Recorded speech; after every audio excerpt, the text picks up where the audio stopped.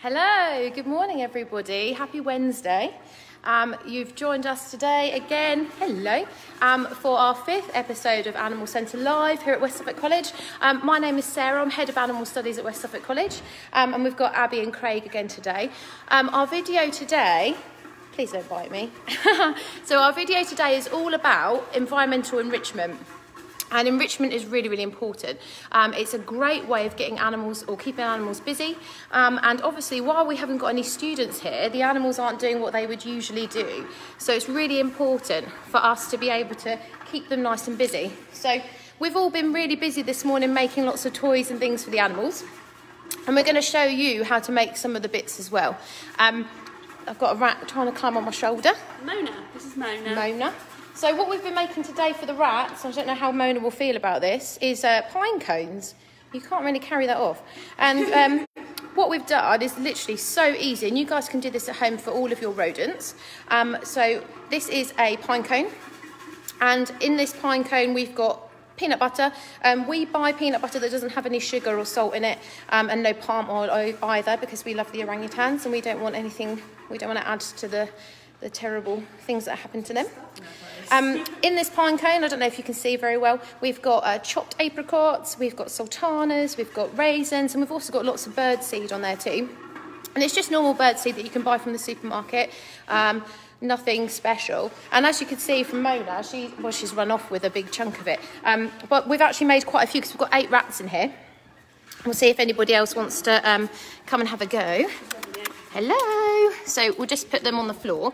Um, so this is the pot. Um, what we've done is actually, some of them don't have any peanut butter or any seeds in uh, because it's really important that we try and replicate what would happen in the wild as best as possible. So obviously in the wild, they don't get a reward every time they try and eat. So we're trying to replicate that here. So I'm just going to put some of them around the enclosure a little bit. I'll turn you around so you can see. No one's awake yet.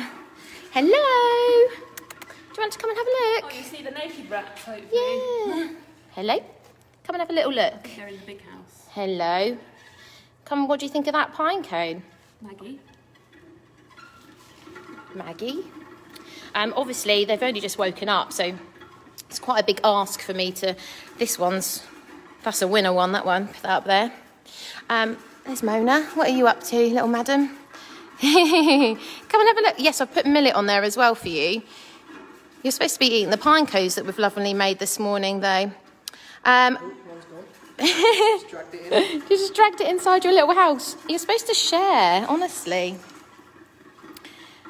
Uh, morning, everybody. Thank you so much for joining us again today. It's really exciting for us as a team to come back and see you all. Um, so Susanna's asking, would that be okay for hamsters? Absolutely. You probably wouldn't want to um, do as many because obviously we've got eight rats, so we've done eight pine cones. Maybe reduce the amount Um, and maybe not use peanut butter, maybe. Morning, Abby. If you blend, hi. Oh, maybe if you blended Larry. up some um, vegetables, just because peanut butter's Quite fatty, isn't it? And Yeah. rats um, tend to have a higher fat diet than, than hamsters. So I've just I've hung up some millet around as well. So I'm just going to hang this one up as well, somewhere a bit higher maybe. You can see oh there's another ratty up there. Um, so you can see from the rat enclosure today. Wow, that wasn't very successful, was it? um, that one's trying to drag that pine cone in there. You're a woolly. food, so this is what they're trying to do, store it for later. Yeah, they're super cute, aren't they? Um, so let's get up, turn around, see if I can come out now. Leave my measuring jug. Um, so we're going to look at lots of different animals today. Um, we're going to. Thank you. Um, so we're going to be looking in the mammal room to start with, because I know a lot of you last week were asking us about our rabbits and things like that. So we're going to have a look at those today as well. We're also going to have a look in the nocturnal room next door at the sugar gliders and the Gambian pouch rats, um, and then we're going to go to the exotics room. And if the signal permits it, we're going to go outside to the goats again as well. Um, will we see the gerbils again this week? If we've got time, we'll definitely bring them over to you. Um, so wanted to do um, a big hello to a few people this morning. Um, a big hello to Creeting St Mary Primary School. Had a really lovely message from um, one of my colleagues here actually who's um, children go to that school. They're doing a fantastic project at the moment on conservation. Um, so we really wanted to say hello to them um, and, you know, hope that our videos are helping. A big hello to Lily, Isaac and Georgia. Good morning. Um, and then we also had a really lovely message from Jamie and Morgan. Um, about guinea pigs, and that's where I thought we'd start now. I'll just turn you around so you can start, so you can see Craig. Um, morning, Craig. So um, we had this lovely message from Jamie and um, Morgan just asking about guinea pigs. They've got their own guinea pigs uh, called Ant and Dec, I think it was, um, and they wanted to know like what kind of things that we do for our guinea pigs enrichment wise. So you can see in here. Hello, boys. That's Ron over there. Um, you can see they have lots of um, apple branches at the moment for chewing on because obviously their teeth continually grow. So it's really, really important. Um, can we see the giant African land snails? Yes, Victoria, we are. Um, and Aidan, we are actually going to do some enrichment for the African land snails, which uh, people forget that um, invertebrates need enrichment as well. Um, so Abby and Craig at the moment, you can probably see it looks a bit crazy, doesn't it? But we've just bought some spring greens, which are brilliant for guinea pigs.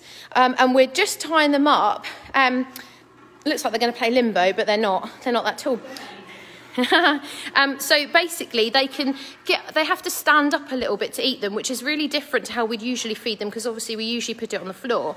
So it's really good to, to mix things up a little bit. have to jump out. you can't get out now, Craig. so we'll just have a quick see what how they're doing. Look, they're doing brilliant, aren't they? Hi, Kobe and Blake. Good morning to you. Um, so when it comes to enrichment, there's five different types. There's lots of categories. Um, the first type is called occupational, and it's basically about occupying them, making sure they're really busy so they're not getting bored. Because unfortunately, when animals get bored, is when they tend to, you know, unfortunately hurt themselves um, or maybe even each other. Uh, the second one's called cognitive, and it's about providing lots of mental challenges. So you can see from this one, because it's quite high, they're actually using um, their back legs a bit more, and they're using the bridge to stand on as well. Daisy's getting quite frantic because you can see everyone. So Daisy's this grey one here, and she's the dominant female, so she's obviously getting quite frantic at the fact that everyone else is... Go on, Daisy, you can get in there. Um, so the third type is called novelty, and that's all about um, sort of encouraging exploration and curiosity. So sometimes putting in really weird items that you wouldn't usually think about with your animals um, can actually encourage them to, you know, to enrich, it enriches their lives a bit more. Um, the next one's called co cooperative, and it's about encouraging them to undertake teamwork. So um, me and Abby were talking about this earlier, and we see that quite a lot in primates, don't we? Yeah, um, and rats as well. We used to uh, do like termite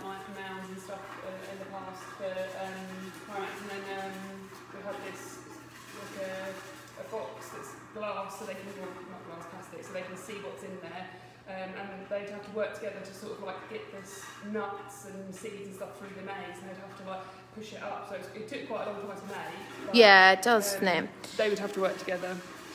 Uh, Caitlin, where do we get the leaves from? We just buy them from Tesco. Um, Asda, sorry. I went this morning on my way in. They're just called spring greens. They come in a double bunch and they're quite cheap actually. Mm. Um, but all of our animals love spring greens, so everything in the mammal room. Um, and also the goats absolutely love them too. We have to um, split them up a little bit for the goats because obviously they don't have top teeth. Um, right, so the last type of enrichment is called emotional, and this is the one that we use quite a lot because it encourages responses through senses. So it's things like, um, you know, food related, sense of smell, touch. Um, so we're going to be doing lots of these today. There we go, guinea pigs.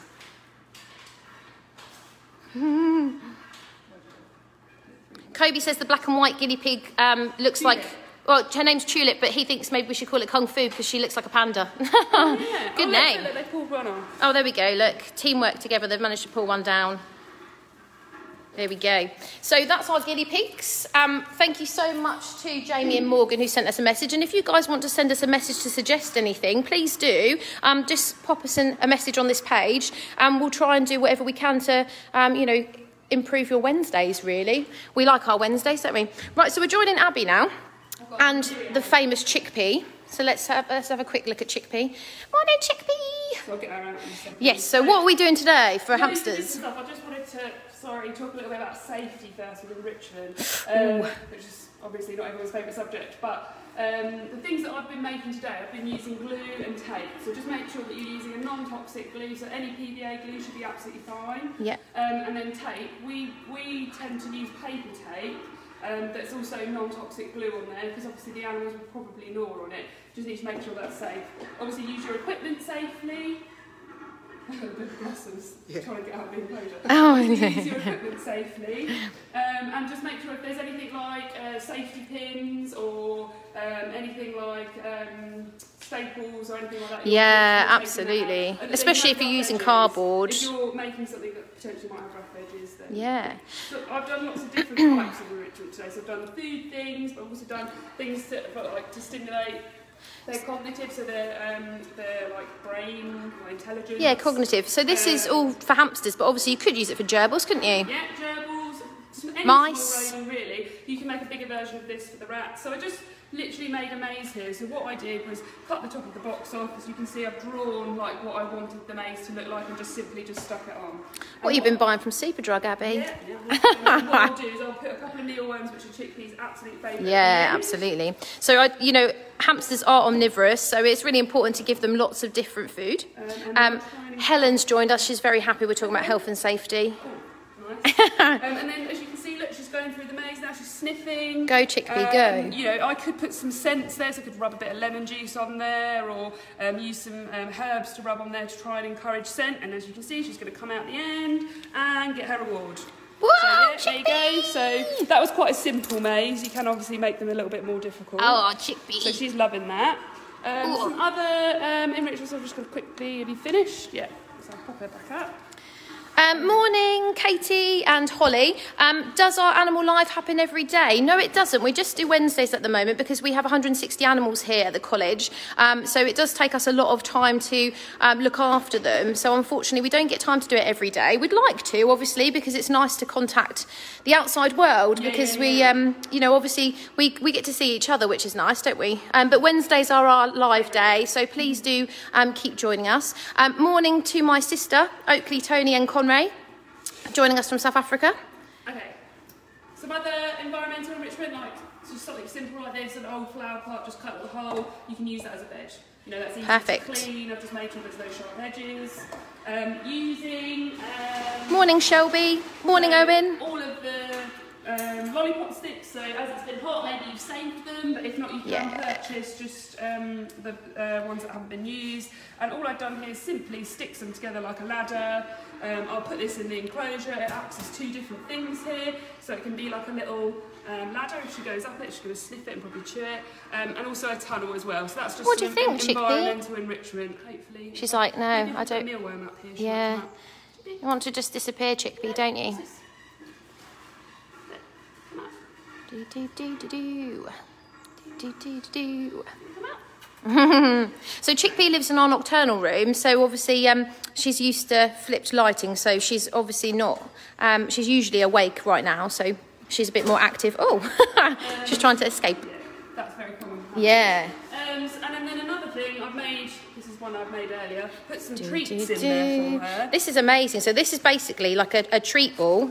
I don't know if you can hear that. Chopping up the tube just like this. Oh, I've got peanut butter all over my Um, hands. and then you're simply just putting them together like this, and then when you've got to a point where you've um, put a couple together, there's a little hole, just make sure you put the treats in, and then, you know, that's really simple and easy to make. Other things you can do with tubes, you know, cutting holes, like obviously using scissors safely, Yeah. like this. We love toilet rolls, don't we? Put some hay in there, have hay sticking out, chuck it in with the rabbits and guinea pigs. Really Perfect. easy. And obviously, this is something we've struggled with, isn't it? Is um, getting toilet rolls and cardboard boxes because usually our students are fantastic at giving us um, cardboard boxes, um, and the college usually gets lots of cardboard boxes for the canteen. But obviously, with the college being shut, um, we haven't got any boxes coming through. So, you know, if you guys want to make some enrichment um, and send us some pictures, that'd be brilliant.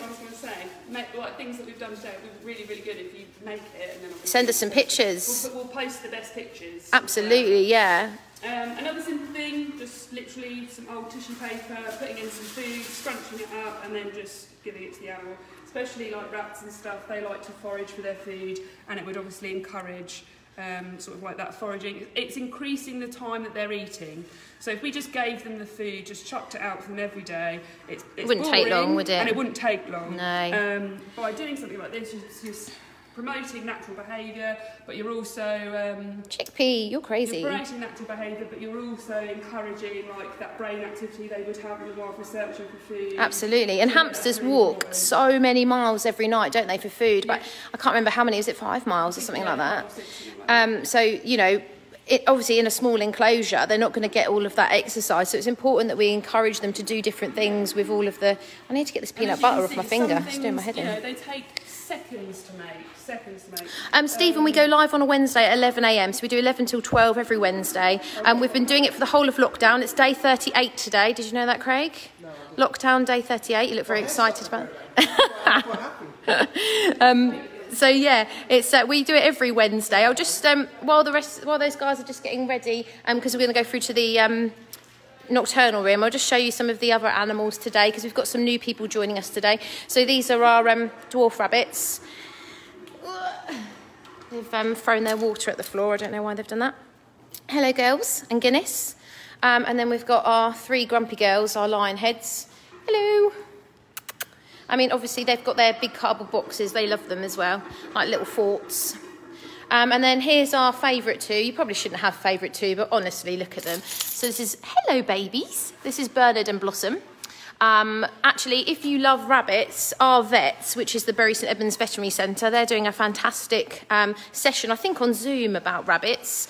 Um, so if you look at the Bury St, Bury St Edmunds Veterinary Centre on Facebook, you'll be able to see when their Zoom um, session is. So if you've got rabbits at home, you can have a look. And Bernard's actually in their picture advertising it because look at him. You beautiful baby. And you, Blossom, you're beautiful too, aren't you? Yeah. Bernard. You lovely babies. They look like gremlins, don't they? Little gremlins. Um, yeah, so we can see if the gerbils are awake because somebody asked me about the gerbils today. Um, so nobody's nobody's awake in the gerbil gerbil world today. We can have a look and see if any. To be honest with you, the rodents take a bit of a while to um, wake up, but they usually sort of wake up once they've. Oh, there's a Duprasi there. Um, hello. So um, if you've never seen a Duprasi before, they're also called fat-tailed gerbils. They look like this. They're very interesting looking. Cute little things. Very bitey though, so they're not the students' favourites. Oh, we're going to come and have a look at a gerbil. Gerbily werble. Oh, here we go, look. So this is our um, one of our gerbils. He lives by himself because unfortunately he's really mean to all of the other ones. I don't know why. But he's loving a, a millet spray there. So millet sprays, you know, people think of them and think of, of budgies, don't they? But um, morning, Denise. But yeah, we give them morning, Jamie. How are you? I hope you're well. Um, yeah, so we give them to all of our rodents. Can we see the chinchillas, Jade? Yeah, of course you can. Oh, little mousey. Hello. Good morning. I'm having a little drink. And yeah, look at the um, African pygmy dormouse enclosure. One of them was just out. Ah, they are so super cute as well. Shame. And then we've got the obviously the dormice. Um, harvest mice. Sorry, yeah, dormice down the bottom. Let's have a quick look and see if we can see some chinchillas before we um, we'll, we'll go round and come back again. It's it's good. I'm getting some exercise today, better than sitting on my computer all day. Um, I'm very grateful. Oh, here we go. Look. Hello. Oh, there we go. Can you see him? So he's just chilling on top of his box at the moment. So we've got four chinchillas and a degu in here. Um, our degu is called Beelzebub. Um, he lives with the chinchillas. I think he thinks he's a chinchilla. He's not though. Um, what are they up to over there? I see you. Uh, here's Dolly. Good morning, Dolly. You cheeky monkey. Hello, you. Come on then, come and see me. Oh, so any of the enrichment we've shown you for roses are obviously suitable for them, but just remember these guys can't have a lot of sugar. So lots of leafy greens. Yeah, same with the chinchillas. Yeah, like that. Uh, Degus are awesome. They are so inquisitive. Well. Yeah, so this is Dolly. Um, they're, but they, like Abby said, super intelligent. They love being given things to do. Um, they absolutely love their wheel. They spend all of their time in the wheel. They, they do have two, but for some reason, there's always about three that try and squash themselves in there. I got a photo of them yesterday, I think, but um, there was all six of them asleep in the wheel.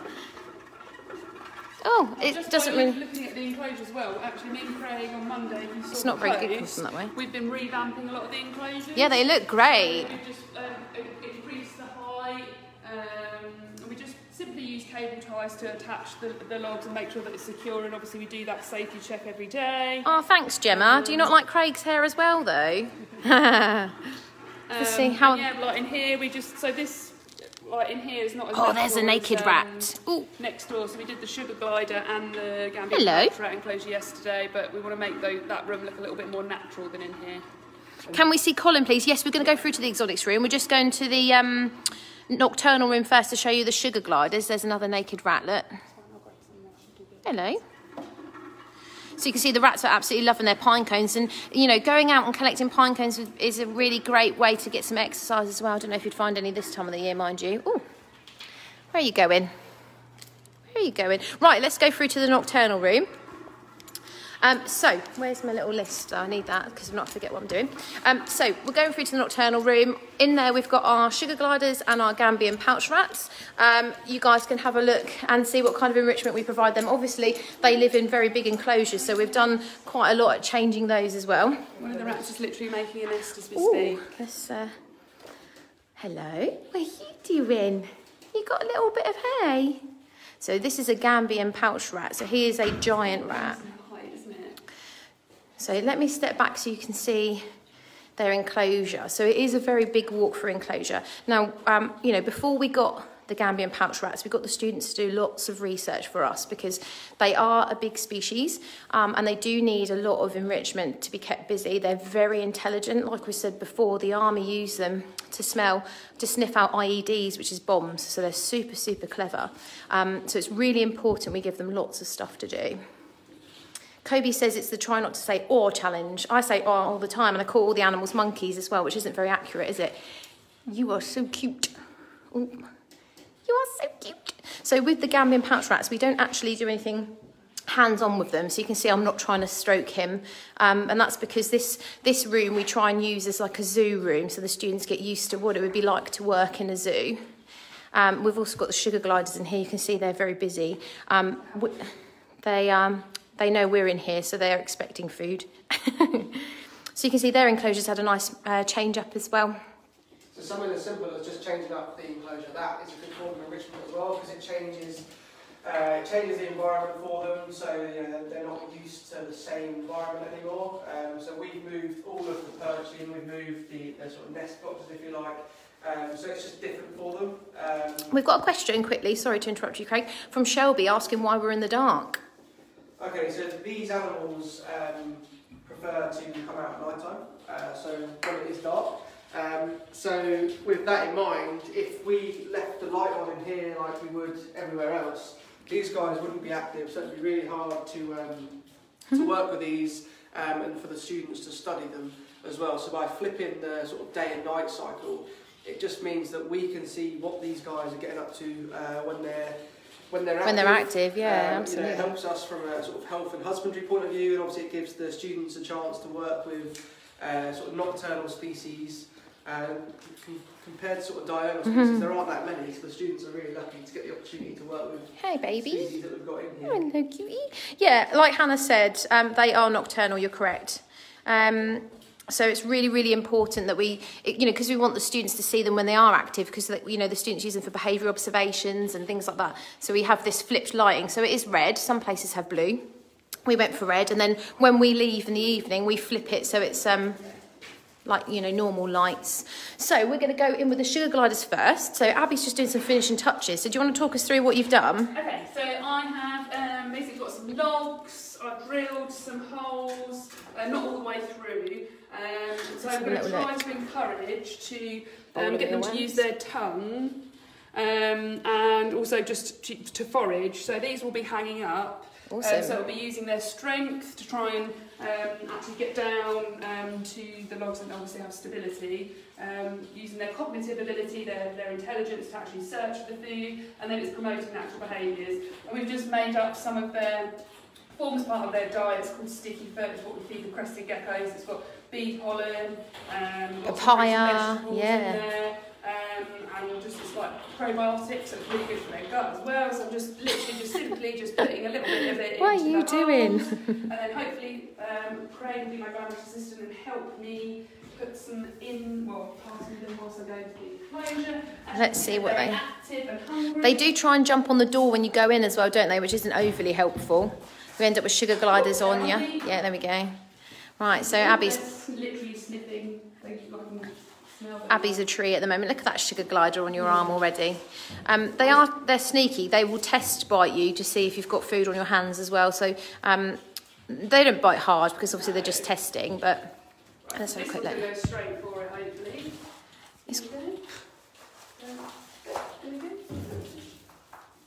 But you can smell it. They can smell it. Yeah. I'm sure. You're about to But that's- There we go. That's also a good response. You don't want them to be like Excuse me. and solve it. You want them to investigate the, um, the device. it's about being curious, isn't it? Obviously, curiosity is a really great way to um, encourage, uh, em- you know, to enrich their lives as well.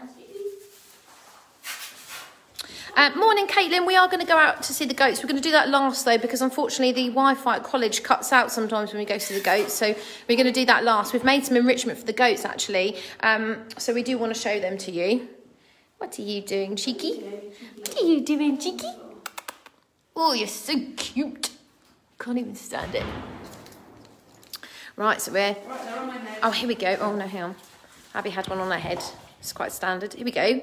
Oh, what have you found?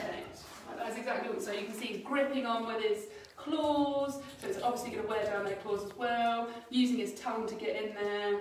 So, obviously, in the wild, being sugar gliders, they would be using their tongues to get sap out of trees, wouldn't they? Yeah. So, um, it's great to encourage that sort of behaviour.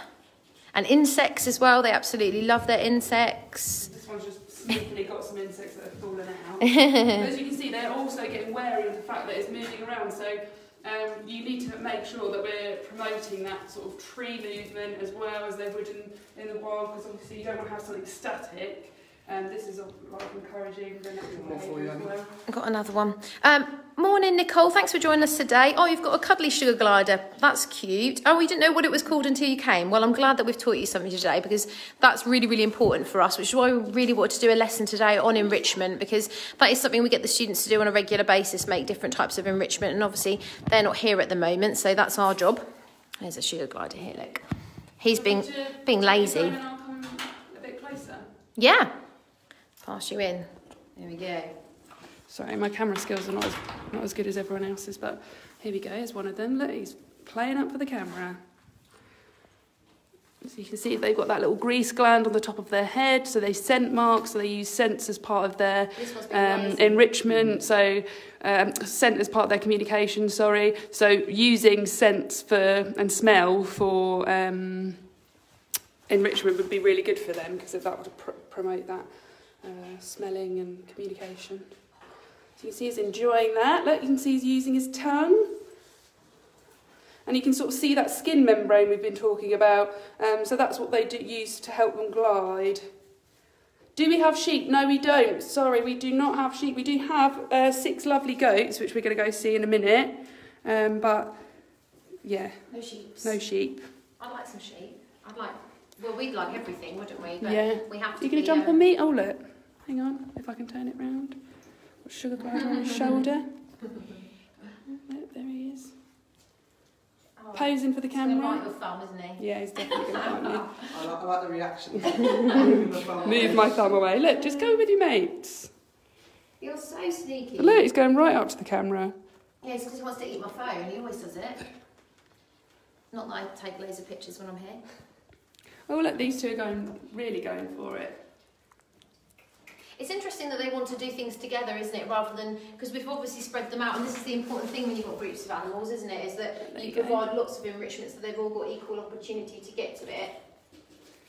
Um, can we come and visit after lockdown? So we're not actually open to the public, Gemma. I'm really sorry about that. But if you are a prospective student or you have someone in your family that would like to come and study with us, then the Animal Centre is open on open events, so we can show off the Animal Centre to our students. We do. We are. We actually haven't. We moved here in June, and we actually haven't had an animal centre grand opening, and we really wanted to. Um, we've all worked very hard to get the animal centre to where it is, so we would love to show everybody it, and, and anybody could come and have a look. Um, but obviously, with lockdown, we haven't had the opportunity to do that. Um, right, over to you, Craig. What are you doing? Uh, so uh, what I've got over here is just some egg crate Oh, thanks, Gemma. that we've just torn up. Um, so what we're going to do for the Gambian pouch rats is we're going to pop some mealworms in. So I've got three of them that Abby's already made for me. Morning, Lexi. Um, no, we don't have any bats. We actually did look at getting some um, fruit bats before we got the Gambian pouch rats, but we decided that we didn't think the enclosure was big enough. Um, so it's really important for us that we only house animals that we can, you know, comfortably and also so their welfare's at a high standard. Maybe I should go in so we're not Yeah. looking through the. Go I don't know if that might upset them a bit, but right. So Craig is using insects today. Just in egg trays. And these egg trays we get with our insects as well. So we get our insect delivery from a company called Peregrine. Um, hello. What are you doing? So, like Abby said, we're just sort of prolonging the amount of time it takes uh, for the animals to get their food, because I'm sure we can all agree that if we just had our food in a bowl every day, it'd be quite boring. But by giving giving the animals uh, different sort of different problems to solve, uh, it just breaks their day up a bit more, uh, gives them something to do, and you know keeps their mind stimulated as well. Um, so yeah, another really good form of enrichment and something that's really really simple. Um, and something that you can sort of apply to small rodents as well. Oh, he's yeah, well done. I think it's important to mention that not all enrichment has the sort of reaction that you might expect it to or you might want it to. Um, so Negative you know, reactions are just as positive as positive. yeah, Good boy, well done. That was a perfect That demonstration. was. Well done, mate. Good job. Yeah, so um, we've got two Gambian pouch rats, but the other one is very, very shy. So this one will come out when we're in here, and he's not really bothered about. Um, hello, hello. Oh, um, he's not really bothered about people, um, whereas the other one is quite shy, so we don't really see him. So me and Craig will get out now, so that um, the other one can come out and enjoy the enrichment as well. Because well, she'll eat it all. yeah, that's why you always have. Abby, you've locked us in. we'd, we'd like to come out, please. Awesome, thank you. Right, so next on our list is um, the exotics room. So we're going to go and have a look at, um, we're going to do some snake enrichment, some um, bearded dragon enrichment. Whoa, that is bright. And we're going to do some um, um, invert enrichment as well, which is really, really important. So um, we're going to start. Okay, so we're going to just um, have a quick look in here. So some people want to have to see Colin actually. So I'm really distracted because somebody, um, a, a stranger has just turned up in the animal centre, which we um, obviously haven't. Who was that? Yeah, so a stranger just turned up in the animal centre. We should have locked the door, really. We usually do. Um, so some people asking me about Colin. Um, so Craig has done an excellent job at changing Colin's enclosure. I don't know if you remember what it looked like before, um, but he's made this fantastic climbing frame for Colin, um, and he's done that by drilling bits of apple wood together.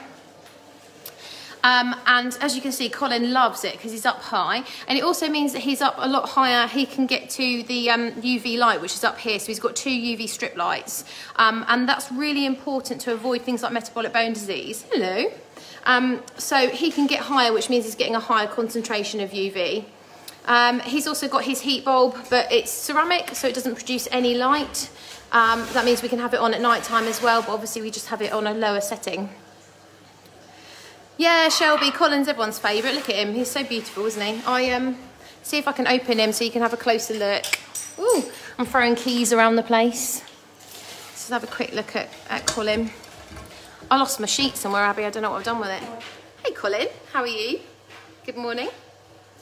And he's, he's definitely like a lot happier in there now. He's got some more height because they are arboreal. So He's checking me out. He thinks we're crazy. He's right. Um, yeah, so Colin's enclosure's had a lovely uh, renovation and even doing things like that. So changing the enclosure regularly is, is an important form of enrichment as well.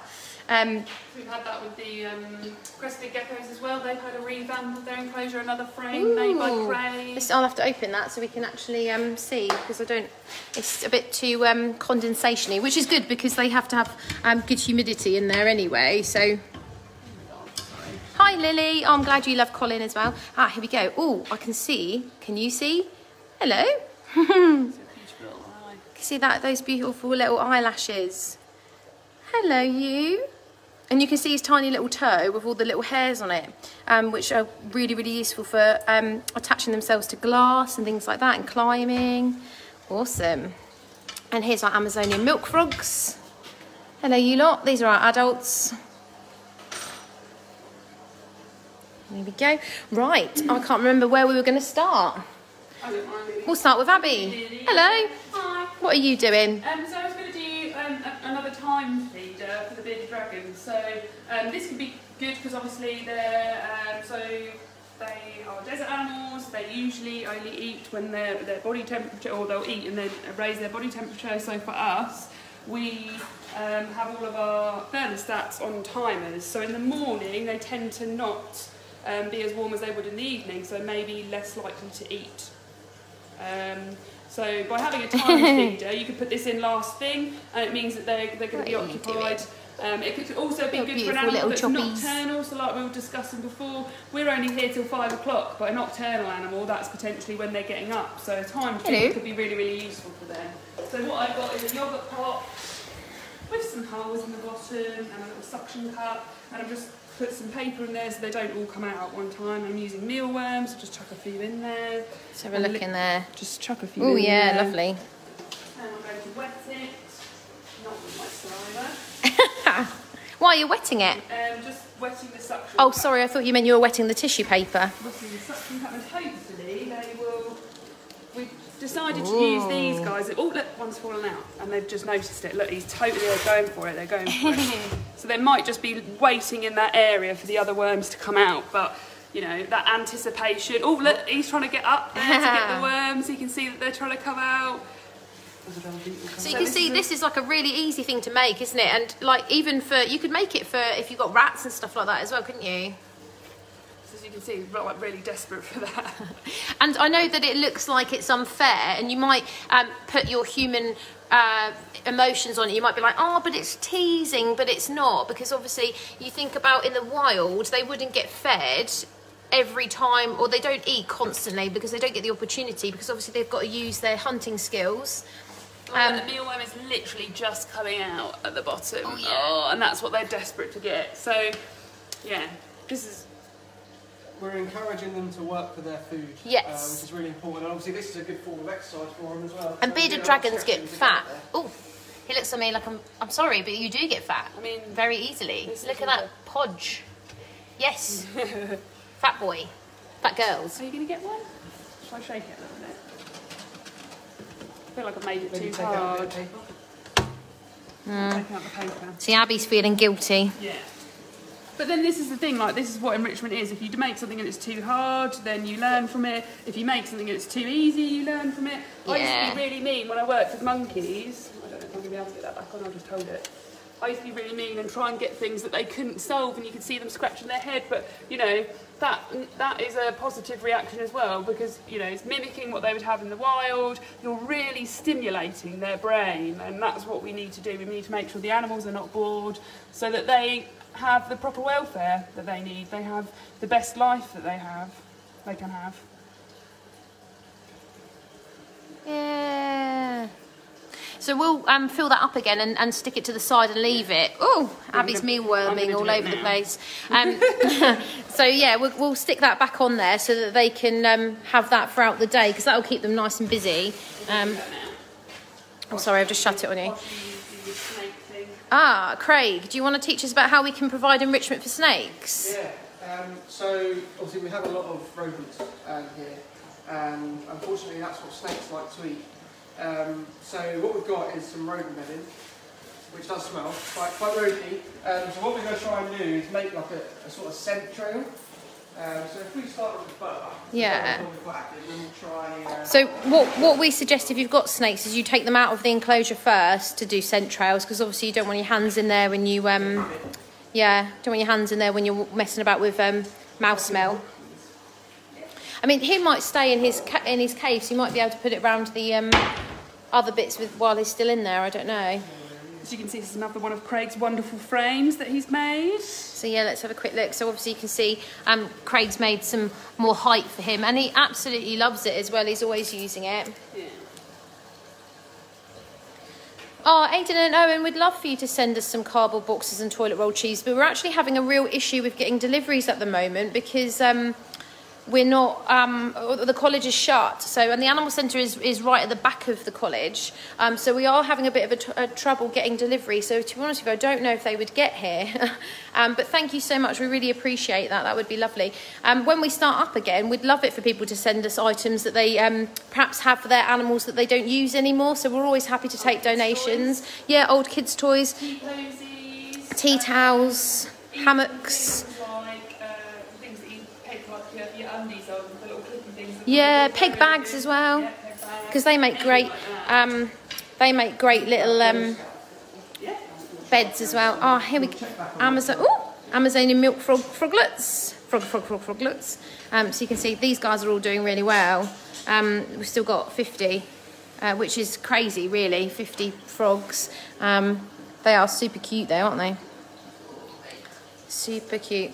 How many lizards do we have? Oh, I don't know actually. Um, it's, so this is Ghost. We can have a quick look at Ghost while we're while. He's lovely. He's one of our rescues. You go. So you look at his beautiful eyes. So Ghost is a rat snake. Um, so he has these really beautiful big eyes, um, and they're kind of blue. I don't know if you can see that. My phone isn't doing very well at focusing. Um, and obviously he's a wriggly, wriggly one. Had to refrain from saying something else. He's a wriggly one. Um, so yeah, he's he's super active though, isn't he? Like, um, he's always out, and the students really love him as well. He's a firm favourite. Panorama. Technically not an arboreal species, but you see we have encouraged height in his enclosure. So just because an animal doesn't necessarily exhibit those behaviours in the wild, you can't necessarily provide them 100% their natural environment. So you need to think of other ways to provide him exercise. So He started to burrow as well done. down there. Yeah. So you can see Craig's actually putting the bedding in. If you've got like, if your rats, if you've got a snake and you've got someone who's got rats that sleep in like a hammock, you could just literally rub the hammock around the enclosure rather than putting it in if you didn't want to make it messy. But we'll put Ghost in and see what he thinks. See if he's um, awake enough today. Oh, oh, oh. So he's got this holding container, which we know doesn't look um, aesthetically pleasing, but it's really important. It's full of sphagnum moss, which you can see, um, and we make it really damp in there. Um, so he's got somewhere he can go to shed. Um, it just helps with his shedding. Um, and obviously, snakes shed in one go if they're healthy. So it's something we like, you know, we want to encourage. He's going for that bit there. I don't know if you can. s- He's he's under this. Uh, there we go. Hello. So you can see the, the tongue coming out and it's forked, so it splits off in sort of two different directions, and that just helps it really sort of locate where where the source of the smell is coming from. Um, in, in other places that I've worked, uh, so with Komodo dragons that are reptiles as well, you can use like a blood trail. Um, so it does exactly the same job, and at the end of it, they can get a nice slab of meat, whether that be horse or or deer. And again, with big cats, you can do a similar thing with uh, sort of blood sickles as well. So. Uh, Chicken broth. Or chicken broth, yeah. So although we're doing this uh, for steaks, there are lots of different other ways that you can get the same sort of goal from it. So it's not just for snakes; it can be for pretty much any sort of carnivore. Yeah, we're going to do some scent trailing with the invertebrates as well. We're going to be using herbs for that, which I know sounds bizarre, but um, you guys know from eating, like, eh, you know, rosemary, um, basil, it's really, really heavily scented. So um, we're going to try doing that with the inverts to see if they like those. And some of these animals What are you have doing, a Colin? stronger sense of smell for us. So Yes. in terms of the, the snake, um, their vision is not as, as um, strong, but their sense of like smelling Yes. and. They have a special Jacobson's organ which they use to help process smells, so it's really, really important. Um, so we've got a few different herbs. I don't know what, what we've done with them. Yeah. Do. What did we do with the herbs? They might be in the fridge. Um, unfortunately, we've been um, doing stuff all day, so it's all a bit. This is the true of what an animal centre should look like, though. It's always messy. Like you should, we should always clear up after ourselves. But looking after animals is messy work. I know what that is. Sugar glider. Sugar glider cube. Right, so we've got mint. Can everyone try some mint? Because that's um, super, super smelly, isn't it? Um, and because we've got it from supermarket, it comes already bunched up, so you can just use that to drag around the enclosure. So we're going to have a go at dinner with the snails, if I can find a key. Um, the students aren't even here for us to, to moan about the keys, so I don't know what's happening. Oh, they've been like they've been like that the whole time. So we've got four, um, hello Colin, we've got four giant African land snails in here and they're towards the back at the moment. Um, so what we can do is literally just rub, because obviously you know that mint produces oil, so you can just rub it on the enclosure. Um, and this will help to give them something to, you know, something to go around the enclosure and it's something completely different. And like Abby said earlier, it might make them a bit um, unsure to start with. Um, but that's a good um, behaviour for them to demonstrate as well, isn't it? And we'll just do the same for these guys. Oh, there's one here. It's always good to see if animals react like as they would in the wild. So um, well, again, when I've worked with primates, um, those um, snake toys that are plastic that when you hold them they sort of do this sort of show. I don't know if anyone remembers those, but um, we've got one of those out before to see if the if the monkeys will react to a snake as they would, and they will alarm call, and the rest of the group will react. And obviously, yes, you're providing them a negative stimuli, but you are encouraging a positive behaviour um, and, a, and a natural behaviour. So it's awesome. So these are one of our absolutely gorgeous domino cockroaches. So, Oh, everyone's not. Um, No, not people fair. are sad. People are sad about. oh, about don't be sad. He's look at look at his and worried, head. but they're He's awesome. worried. He's super cool. Very. Um, he's very quick, yeah. Um, and yeah, we've got a few of these. So they are domino cockroaches, obviously because of their pattern. Um, I'm just gonna I'm gonna pop him on here so you can So see. hopefully he'll. Yeah, mate. They're not overly keen on being held, to be honest with you. Um, but yeah, we've got a few in there. They're all obviously all hiding underneath the tree stump. Well, there's another one there. Oh, oh, Burrowing. he's It's just under, just come up from burrowing. Who? So these- these are one of the um, nicer of the looking of the cockroach species, or yeah, Yeah. species. He's definitely thinking. They are cool, Stephen. Yes, they are. Yeah. He's definitely on the branch, as you can see. He's definitely like. Curious. It does, doesn't it? Our hands just absolutely stink of meat. Whew. Okay. Okay. So we haven't. I don't think we've shown you the hermit crabs Get much. one out. Abby's favourite is the Absolutely. hermit crabs. Um, so all all hermit Oh, I don't know if you can see- Actually, um, do you want me to open Yeah, if you can open that, we'll show you our Pac-Man frog. Um, he's really funny. I can see him. He's just kind of buried himself. Hello, you. Do, do, do, do. Um, so Pac-Man frog because he's got a giant mouth and he will bite you, won't he, Craig? Yeah. yeah. Should we get that? That's fine. Colin's like, please let me out, enrich me. So this is the other thing as we were talking about as well as human interaction with animals is also enriching for the most part, isn't it? So um, let's have a quick. You've got a key. Can you um, open Colin? I mean, Colin's very very into having um, a cuddle. Aren't you, Colin? Here we go. Ha ha ha ha. Colin, do you not want to see Craig today? Do you not want to see Craig? Ha ha. Oh. Gotta take your tail with me, haven't I, Colin? You woolly. Right, okay, just gonna just gonna hang there for a minute. Colin is dancing. Yeah, well when they walk they do this sort of shake. Um see we can Are you right now? Happy that you're out. So Colin's just going to hang on my arm while we um, talk to Abby about hermit crabs. Hi. Um, yeah, so Hi. um, hermit crabs are all, so you can sort of see, this is a purple pincer, Caribbean purple pincer hermit crab. Um, so they're, they're actually all are, are um, born in, in the sea, and then land hermit crabs, they'll come onto the shore, um, and then their, their gills metamorphosize, so that means change, to be able to go from breathing water to breathing air. But they do need a very moist enclosure. So if you do have hermit Yeah. crabs, lots of spraying, and we recommend that you use aquarium salt with um, uh, dechlorinated water or distilled water um, to spray the enclosure. And as you see, we, we try to replicate their natural environment, so it's usually sandy with soil. Um, we provide them a salt bath, fresh water, and then I actually make their food. It's got um, a combination of um, nuts, uh, oats, uh, tannin, um, uh, nuts for the Dried tannin. fish. Yeah, dried fish, cuttlefish bones. So they are um, a species that needs to have a high calcium diet.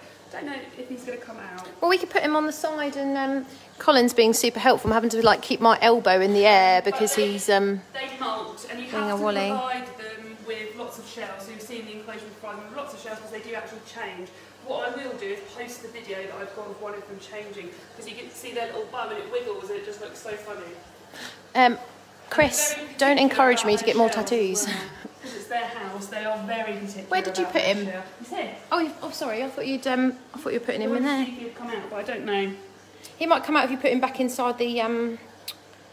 When I'm touching, he's not really moving, so I don't know if he's about to go into a Hey, Colin, what's up? 'cause he was slightly Everybody says hello. Happy Wednesday. Hmm, not impressed, are you, mate? Not impressed. Where did you put him? He's there. So he, he's actually like quite in his shell, and he was looked like he was burrowing. So hermit crabs molt, so not their shell, their actual exoskeleton, all the hard Yeah. the outside. They molt it every 18 months, um, around every 18 months. Um, so you might be going through that early stage of that. Um, speaking of molting, Clarice is going through. Oh, I won't show her Colin because that might upset her. Um, but Clarice is going through. Yeah, if you could, because he's actually hurting my arm. My arm's not really meant to be in that position. Sorry, Colin. Um, so this is Clarice. So she's a different type of chameleon. So she's a Yemen chameleon. Um, so she is. She doesn't obviously have the, the bright blue or the orange, um, and she's got that lovely white streak along her. Um, but she's shedding at the moment, which is why she's got that bit of white on her face. Um, she's also not as keen on people as Colin is. Um, she's getting better, um, but she's yeah not overly not overly keen. She's she's always sort of giving me the eye because she wants me to go away while she's trying to eat usually. Um, and then we've got our another set of frogs in here. We've got um, snowflake white tree frogs, but they're usually quite good at hiding. Don't know if anyone can spot them. Yeah. Oh, yeah. Um, so fish, not everybody's favourite. We've got um, a very small selection currently, but it's something that we're looking at changing for next year, so we're getting more. So these are gold barbs. Um, these are our original fish. We've had them for a, a very long time. Um, we've also got a tank of tetra. So we've got black widow tetra. We've got uh, lemon tetra. We've got um, I think that might be it in that one. Yeah. And then we've got some. I think I think that's a penguin tetra, some neon tetra or cardinal tetra, and then we've also got a leopard, uh, sorry, zebra danio. And then down the bottom, we've got our African short-clawed frogs. Look at his little choppies. There's two in here. Hello. So we've just changed their enclosure to this and totally like revamped it, so that's another form of enrichment. Linking it to enrichment. Yeah, so these guys are very interesting. Then we've got angelfish as well. Oh, you grumpy thing. He's the boss. I don't know if you can tell. Look at that lovely dorsal fin. See the bristle nose in there? Uh, there is a bristlenose catfish in there somewhere, but I can't see him today. Um, so you can see, obviously, we've got um, three angelfish. They do get quite big angelfish, and they are a type of the cichlid family, so they are quite aggressive. Um, so it's not best to keep them with anything else, to be honest with you, because they are fin nippers. They've got this forward-facing mouth. I don't know if you can see. Um, it's kind of angled upwards, which means it's good for nipping other fish. As you can see. As you can see, yeah, he's being really mean to this other one. Mate, it's not nice, is it? So we might have to move him and put him in a different tank. Um, but when it comes to fish enrichment, it can be quite difficult to provide enrichment to fish because obviously you think about putting them in a tank and just forgetting about it. Um, apologies for the for the algae on the bottom there, but because they're opposite all of the tanks, um, the UV light encourages algae growth. So it's something as well that I didn't think about when I designed the animal centre. I'm only human. Um, so yeah, when we come to enrichment for aquatic species, obviously you can change up the enrichment within the enclosure. So Craig's been doing that this week. So you can see at the moment these guys have got some vegetation they can hang in. Um, they've also got this piece of mopani wood, which you have to soak for quite a long time before you put it in, because if not, it turns the water red. Um, another great way to provide fish enrichment is to give them live food. Now, you can't really chuck mealworms in there. We've tried and they just sort of float precariously on the top. Um, but you can buy things like artemia, brine shrimp, bloodworm, tubifex worms, um, and they come in brine water. So you just have to put them in a sieve and give them a rinse because you don't want to put salt water in your freshwater aquarium. Um, and then you can pop them in, and the live food helps to stimulate their natural behaviours. It can make them, obviously, they have to hunt, they're doing lots of swimming. Um, so it's a really good form of enrichment for them. Um, it's also good for digestion as well, live food. It helps to push through their digestive system. Um, so really important if you've got a fish that's constipated or it looks really bloated, uh, live food is a great way to, to help promote that. Um, fish are a really big passion of mine. Um, it's what I teach here, so I do aquatics and exotics. Um, so, you know, I could talk to, to you about fish all day, but it's not everybody's cup of tea, is it? Colin is a panther chameleon. Somebody asked me what type of chameleon Colin is. Colin is a panther chameleon. Very handsome one. A very handsome one indeed, yeah. Some, um, some locusts in with him. Oh, we can go and have a look. Good source of Still doing their, their thing. They're still on, hanging around under the pot, look. They are taking it in turns as well, which is quite cute.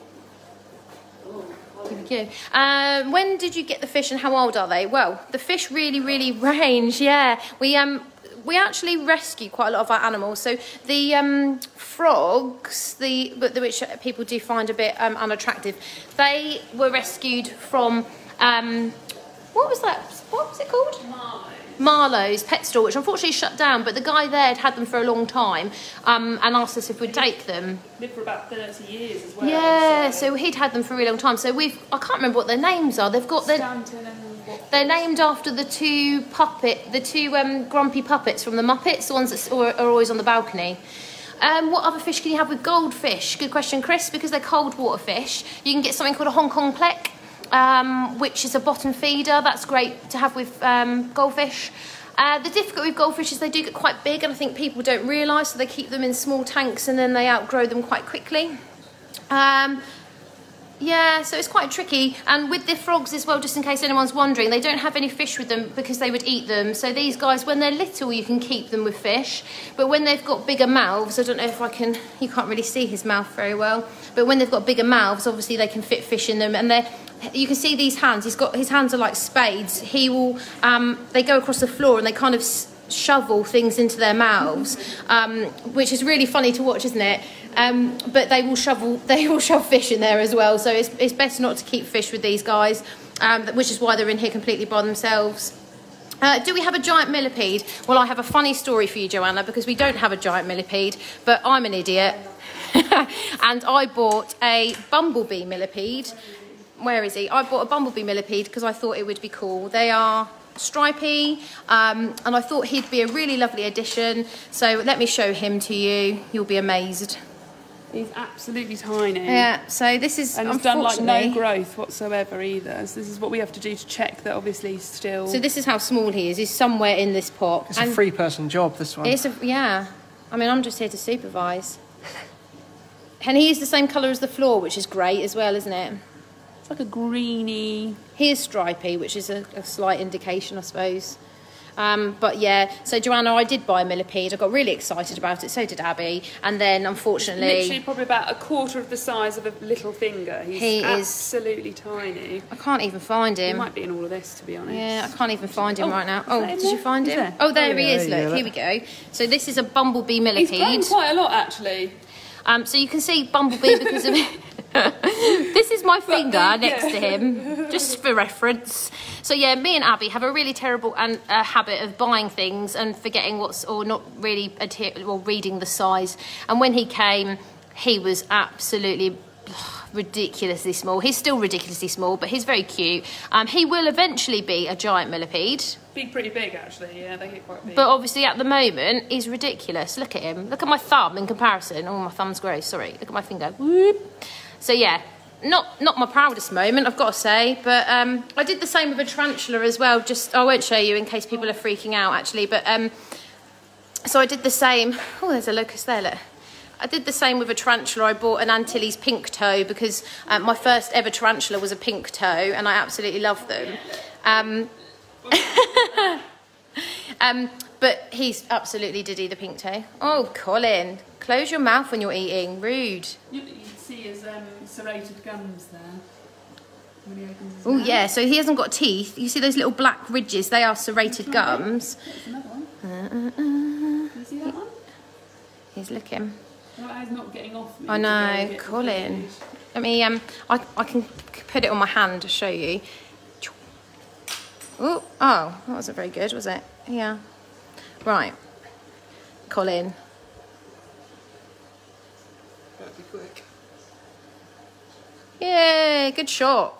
So it's got like a sticky substance at the end of their tongue and it's like like a bone and it helps to obtain their food. And they, they are, they're quite accurate. They have quite a high, Oh, I don't know what I'm doing. sorry to say, kill rate, a success rate. Yeah, their- success rate, better word. Yeah, Yeah, success rate with their, um, Yeah, yeah, yeah. uh, when they're hunting. Yeah. Uh, right, it is 12. We'll just quickly, if we can, what have we got for the goats? Uh, so we've got some lox, and um, being the great chef that I am, I blitzed up um, some veg and some fruit earlier. So Oh, well, that sounds smother that delicious. On the logs, so I think my and Abby's hands are going to get really dirty. Right, we're going to go and have a quick look. If we lose you, I apologise now and have a lovely week. Um, but, you know, the signal isn't fantastic outside, so we'll just see. Um, so all the logs are outside already. Um, we're just going to head out there now. Look at my roots. Honestly, I need to see my hairdresser Verity stat. Um, sadly, can't right now, can we? But there we go. Um, so we're just heading outside now. Oh, here we go.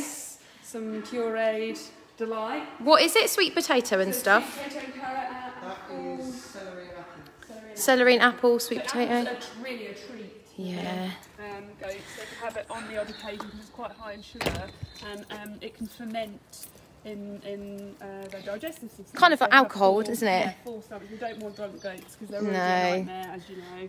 Imagine Yeah. a drunk Andy. Yeah, and no, thank you. Andy's got the gates for us, um, and we'll slather this on. yeah, not touching. absolutely. So these are the logs. You can see they're obviously quite considerably larger than the ones that the um, other animals have in there. Um, so I'll, I'm going to leave these guys to. I mean, that is gross, isn't it? What we do for our animals, eh? Craig, could you give us a taste of that and just uh, if you could taste it for me and tell me what it tastes like? No. Okay, fine. I did try the sweet I just can't find dedicated staff anymore, honestly. Um, speaking of staff, actually, um, I I had 19 applicants for our job that we had um, up at the moment. Um, which is a technician technician demonstrator post, um, which is what Abby is. Um, so we've yeah we've been I interviewed all day Friday, and it was really lovely to have so many people say that they've been watching the Facebook Live. Um, so hello to all the candidates that I spoke to um, on the on webcam on Friday,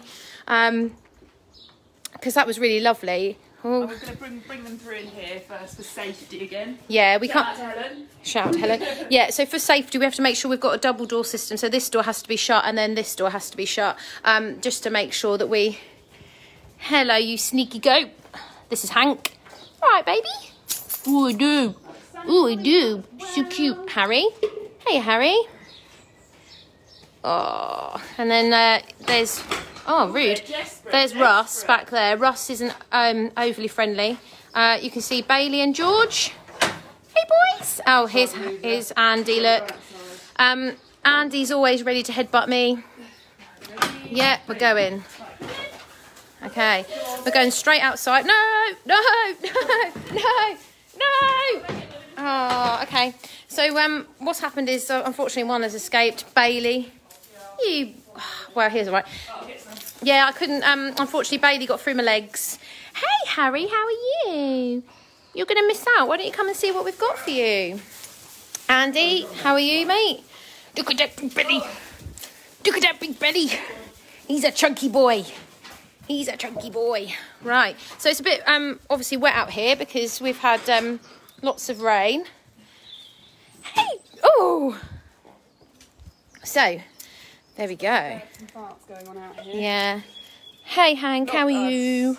The goats. Hey Ross. Oh, you always look so worried, don't you? Look at this one. This one's got loads of stuff on it. Somebody come over here. Andy, you come over here. Oh. Hello. Goats are not the most intelligent. They um, they, I mean they're clever. They can be trained. They obviously do, but um, Are you? In terms of like curiosity and that sort of Hi. thing, they use their horns and their mouths. So hopefully they will investigate this in a minute. Mm, do you think maybe we should put one up there? Just so. Andy, I just don't know why you do it, why you have to misbehave like that. Yeah, You're just such a monkey. Do you want it? I mean. Oh, rub your head on it, yeah. Sweet potato on your head, great. Oh, look at the state of Oh, yeah, you. eating. This one's eating it. This Why? Just stop rubbing your head in it. That's not how you're supposed to use enrichment, honestly. But that's obviously he hasn't got horns, but that's how they usually investigate things. So with their horns and their mouth. Oh, you're going to get it rubbed in your face now. Yeah, I don't mind. Just Good boy, show that it can George. have multiple uses despite what you think it's going to be used for. You are a good boy. Ow! Did she get nipped? Bopped my hand. Hello, you are a good boy, aren't you? Yes, you are. Yes, These you are the are. friendly of the two. Of the six. Of the six. Friendly, these two of them. yeah, boys. They talk a lot. Hey. Um, Um, Andy isn't really interested in eating. What he's interested in is hurting Craig. Oh, Craig. he really doesn't like you, does he? So these three are golden Guernsey, so you can see they look very Oh, they're different. nice. So very tall. Um, these beautiful blonde coats. And they're actually bred for producing milk. The- Obviously, these are boys. They're, ca- all of our goats are, are males. They're castrates, which means, unfortunately, close your ears, people. Um, they don't have testicles. They've been castrated. Andy's misbehaving. Bailey, what do you think of that? You just, oh, look at the state of you, you messy boy. These goats love massages as well. No. I love them. Look, he's gonna go. Get his... Oh yeah. Like I said earlier, Sarah, this is like what we're doing now is a really good form of enrichment for these, especially as well. Look, see, time and give them a bit of TLC. yeah, we like to come sit outside with the goats as well, don't we? Um, especially George and Bailey. You shouldn't have favourites, should you? But look at you, George. Even with sweet potato all over your chops, you're still the most beautiful goat I've ever seen in my life. Poor Hank, uh, Russ, sorry, look at him. He's just lost. He really just, he's quite low in the pecking order of the um, group and he's a bit unsure. He's not really a, f- like a fan of us either. Because he came from a farm, they, their handling would have been very different to us, and he probably had limited handling. Whereas these uh, Hank and Harry, the twins, they came to us at a year old, so they've actually got really you. used to us. And Hank loves a little cheek massage. Look at that sweet potato your chops. Russ was a little bit older, so you know. He's a year older than Hank and Harry, so he's their older brother. Yeah. But you can see now that so Hank is the boss of our herd, and now that Hank's moved out of the way, like, oh, I've got permission now. I can go and have a look. Um, Ophelia wants to know why don't some have horns? Well, unfortunately, um, George and Bailey, we um, we rehomed them from a really lovely lady called Yvonne. Hi Yvonne, if you're watching. Um, and um, when you have goats, when they're young, you can have them uh, debudded or disbudded, which means you can have their horns removed. so, so uh, Bailey and George have had their horns removed. Bailey, I don't know if you can see on top of his head, but Bailey's still got A like a little unicorn. nubbin. Haven't you? Got a little nub. Um, whereas the golden Guernseys have got these really beautiful. Oh, please do rub yourself on me. I'd love more sweet potato on my cloves. Thank you so much. It's really important to keep their horns because it's a form of communication. Yeah. So that, that's what they use to communicate with each other, and that's what they use to. We all kind of wish Andy didn't have horns, Yeah. though. Yeah. Oh, yeah, I'm talking about you. you. Oh, bless you. So, yeah, this is great for them. So busy trying to. Hi, Harry. That you didn't food on there. No. You missed out. Uh, Andy is Andy thinks he's the boss, but unfortunately not. Hiya, mate. But he loves a massage. well. Hello, you. Oh, oh, all go up in my face. All go up in my face. Hey. So I think that's it today, guys. Thank you so much for joining us today um, again for a lovely um, episode of Animal Centre Live. Um, we'll be coming back to you next week. We haven't decided on our topic yet, actually. So if you want to get in contact and let us know um, if there's anything you want to learn, um, you know, Craig, Abby, and myself will be here again next week. Here he comes.